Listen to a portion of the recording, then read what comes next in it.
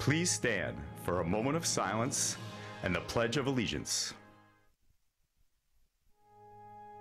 I pledge allegiance to the flag of the United States of America and to the republic for which it stands, one nation, under God, indivisible, with liberty and justice for all.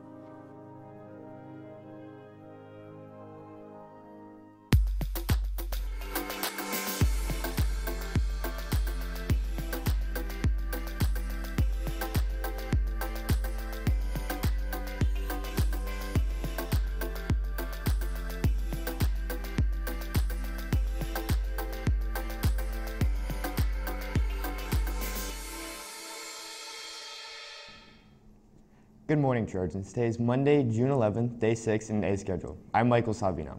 Summer assignments will be available to pick up from the library and or printed starting Wednesday.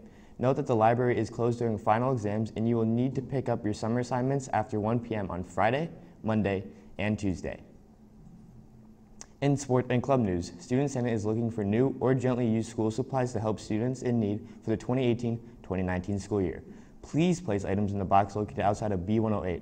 Additionally, the last UNICEF Club meeting of the year will be held after school tomorrow in C200. In sports news, congratulations to the girls softball team for making it to the state semifinals. They will play today at Pace Park at 1 against Neshaminy.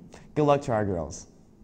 And that's all we have for you today. Thank you for joining us here on PMN on Parkland TV. I'm Michael Salvino. Have a magnificent Monday.